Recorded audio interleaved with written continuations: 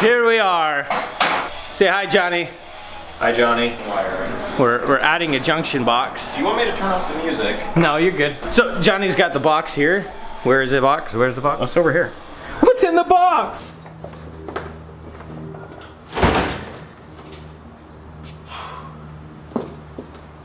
Oh, what's in the box? What's in the box? so we're running 100 amps to this jumper box. It'll be mounted Down there. down there on that wall and we'll get to that in a second. So that's what we're doing. I just knocked this thingy out Oh, we gotta knock the thingy out. with my hammer. my hammer and my Dude, we're getting washed out other by that window. and my other tool. Hammer. Hammer. We don't have any tools here. That'll change shortly, I think. Uh, yeah, I gotta get my other toolbox here. From, the, from the other shop. But we're rewiring this because I just bought another, uh, you're making noise, sir. Shut up. I'll kill. 31 Chevy bits. Well, 32 Chevy bits. And El Chapo on the back. and then 31 Chevy bits. So yeah, we're gonna rewire this because I purchased a new um, we're gonna bring Johnny's welder over here and we're gonna start, we're gonna, yeah, it's not rewire, it's wire. We're gonna start doing more work out of my garage space here because it's a three car, three and a half car, get more stuff done.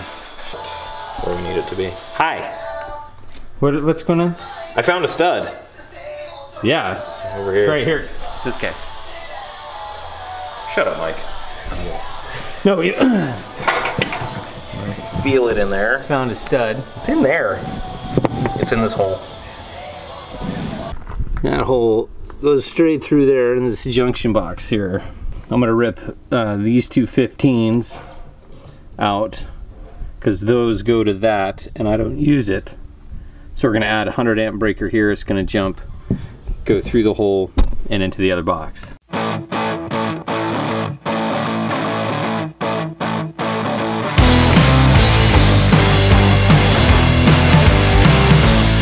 Yeah, there we go. These guys.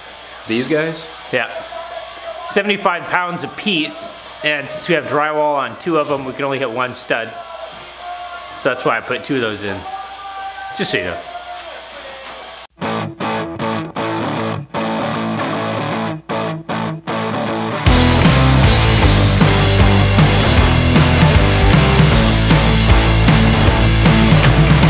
Tennis balls so my wife doesn't hit things in her car.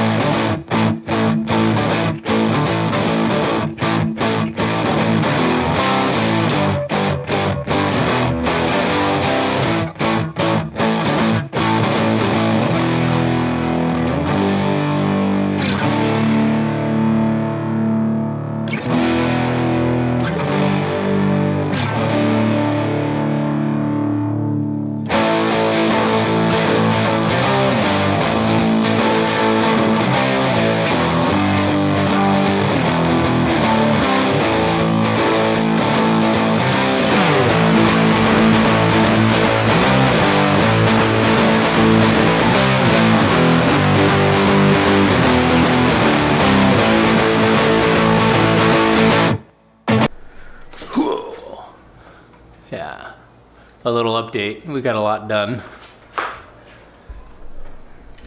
No, we didn't. Uh, see, Johnny's doing the main box, and then we went all the way down. Way over here. I don't know. Can you see that? Anyway, yeah, here's Johnny. Hi. Whoop, adjust the camera. Anyway. There you have it. And um, So, I guess we'll turn the camera back on later once we figure out it doesn't work. because Johnny fucked it up. All right, so we finished late last night. Uh, we got everything um, ran. Um, yeah. So it might be easier to see now that it's daylight. I know the the video yesterday was a little dark, but let's see. We got our junction box that goes to the outside. And the way I way I ran it, I'm gonna bring my air compressor here and it's gonna set in this corner. We're gonna hardwire it into this 30 amp. This is the 110, we're running 20 amps um, with 20 amp plugs because you gotta make sure those match. And that this whole run, all the way down to the window down there, is uh, is 20 amp. And then we got a 30 amp breaker. Got a 30 amp breaker for, you know, obviously the, the 220 plug for the welder.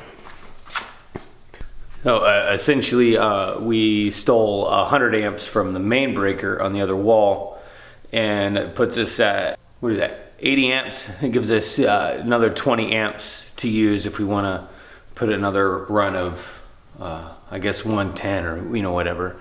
I wanted to make sure I had more use on the other side than what I'm pulling, and it was just easier that way. And we're going to overload these breakers before we overload the other one. So these these breakers will pop before we pull too much juice. Um, and hopefully we'll have enough juice, whereas I want a 100 amp, we'll have enough juice to run the welder and compressor at the same time. So I'm gonna show you the outside. There it is, 100 amps garage sub panel.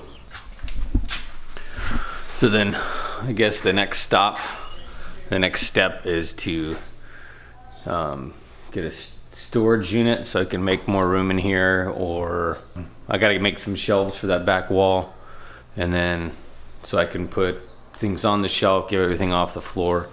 We're gonna put lights in, see how dim this light is and then the other one's here which has an LED bulb in it. It's as bright as my garage gets, it's not very bright. So we're gonna get four of those LED uh, long strip shop lights. So I'm gonna get four of them. I'm gonna run them into the outlets so they'll turn on when you turn the switch on. I mean, that's all I got right now. I guess it's been a year since I moved in here and I've been kind of slacking on getting everything ready because I just didn't have the time. But now I'm making more time to do more stuff out of my garage. We got a couple of cars we're gonna build in here. So I need to make the room. There it is. That's all I got for now. I'll see you around. Go hit that like button. Make sure you subscribe, comment, and share with your friends. You can also check out our website at garagejunkieapparel.com. We have all our shirts available for purchase. We'll see you next week.